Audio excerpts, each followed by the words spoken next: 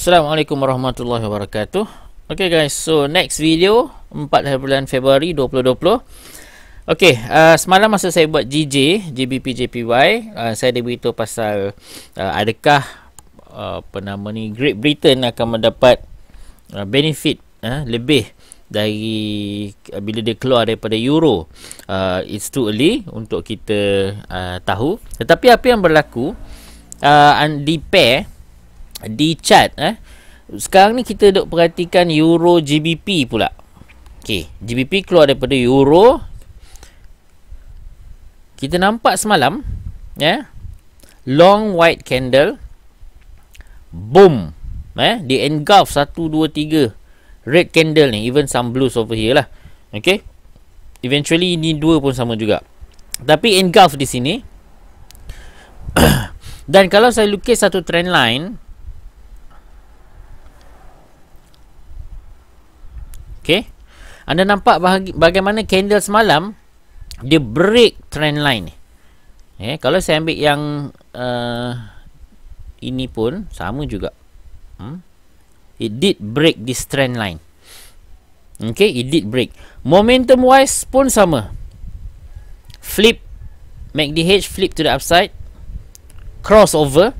Eh, tinggal kita punya apa nama ni MACD line saja belum cross 0.00. Okay. Ada resistance dekat sini. 8590. Okay. Macam biasa saya suka buat round number terus lah. Saya boleh terus buat ke 86. Kat sini. Okay, 859, 856. This is the area di mana anda perhatikan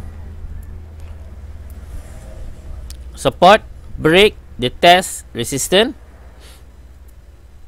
Sini. Okay. Same goes here. Ingat eh sambil 86 tu saya round number kan je eh. So 859 boleh 86 tapi kalau anda nak selamat 86 lah. Maksudnya kalau saya daripada sini sekarang current price ke area ini dia dalam 70 60 pip 70 pip macam tu. Okay, those yang nak ambil scalp dekat time frame H1 atau M15 atau lagi kecil pada tu definitely boleh. Yeah, this is M50 uh, this is H1 okay? Maybe tunggu pullback little bit boom. Atau H4 oh H4 macam nak naik eh? Atau M15 op eh tunggu pullback atau breakout macam ni cantik. Boom naik atas. Okay tapi yang nak lebih selamat apa kata kita tunggu dia break area sini Memang lambat sikit lah eh? On daily chart Tunggu dia naik Dia break. Dia break Retest the area. Pam Sebab apa? From this area ni Kalau dia naik huh, Sangat jauh ni. Okay. Support Resistant Resistant. Okay. Ada low High. Sini saja Guys ada dalam 190 200 pip. Kita di sini. Okey.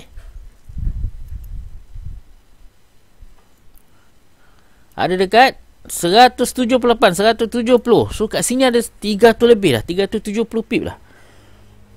Eh untuk dikejar. Untuk kita grab. So ini adalah opportunity yang saya rasa uh, boleh berlaku di EJ. Eh buat masa ni saya nampak dia favor lebih kepada euro. Eh based on chart eh. Macam saya cakap tadi it's too early, masih lagi terlampau awal untuk kita tahu uh, impact sebenar. Tetapi kalau saya nak trade EG ini adalah area yang saya akan perhatikan. Mungkin opportunity ni berlaku next week. Mungkin dia akan retest this area. Mungkin dia akan naik, turun sikit, boom. Sebab kita tak nak Kita tak nak Dan naik tegak macam ni. Ah Tak boleh. Kita nak dia naik Acah-acah coding Retest Turun balik Break. Kita nak ada satu lagi low At least kat sini. Low High Sorry Low Higher low Mungkin je retest Turun Naik balik. Low Higher low Boom. Macam tu cantik lebih proper lebih proper. Tetapi based on the setting dekat sini memang nampak ada kebarangkalian besar yang EG boleh meningkat lebih tinggi. Okay? Now of course kalau sebaliknya berlaku we are looking at price falls back. Turun balik eh uh, masuk balik dalam kita punya trend line 8385 ada support mungkin juga dia boleh turun lagi bawah ha? dekat low sini 8275 ha. ini kalau dia turun lebih bawah si ada banyak lagi peluang kalau dia nak turun ni eh. even kalau dia break ni hu berdarah hidung eh? tapi buat masa sekarang apa yang saya perhatikan ini bullish. Okey pada saya ini bullish. Baru lagi eh dia boleh naik sampai sini tapi saya nak tunggu dekat sini nanti 86 eh ini area dia yang saya uh, teruja sikit nak masuk. Uh, macam ni dia agak tight untuk saya. Dia agak tight eh 70 pip. Mungkin kalau anda nak try kecil-kecil scalp 10 pip cabut 10 cabut dipersilakan. Saya tak berminat lagi. Eh saya belum lagi berminat Ha, so itu apa yang saya akan perhatikan di EG. Okay guys. So uh, diharapkan ianya dapat membantu sikit lah. Ha. Jangan lupa subscribe channel saya. Ha, nanti saya boleh buat banyak lagi video untuk anda. Okay. So terima kasih. Assalamualaikum warahmatullahi wabarakatuh.